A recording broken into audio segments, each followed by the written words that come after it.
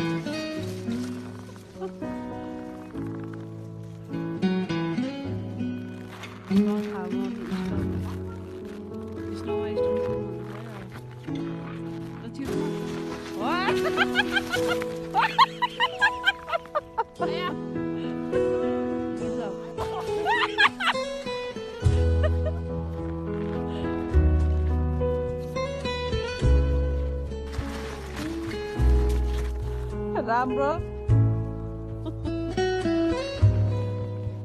यो चाहिँ वास्तवमा रिभर हो खोला हो है। यस्तो फराकिलो खोला अब टक्क जम्या जम्या हिँड्नु